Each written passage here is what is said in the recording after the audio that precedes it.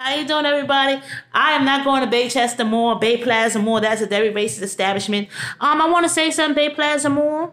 No, thank you. I don't need it that badly. I can go somewhere else. I remember this incident on the paper about this man of color, which is beautiful, and, a, and turned down a man with a black son. I have a black son, that's number one. Number two, I'm not going to go to your corny racist establishment mall. Just because I'm from Brooklyn, that's a problem what happened at King's Plaza.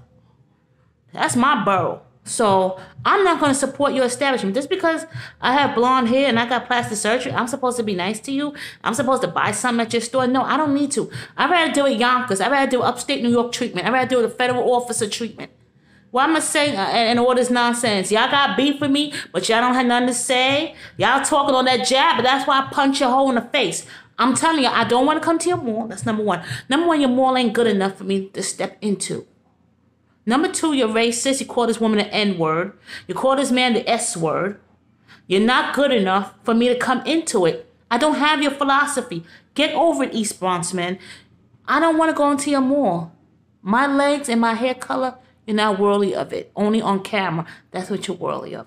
To let everybody know I'm upset with racial tension and racial things that's going on. I'm not going to support that crap. Hell, hell, no, no, I'm not going to support that crap.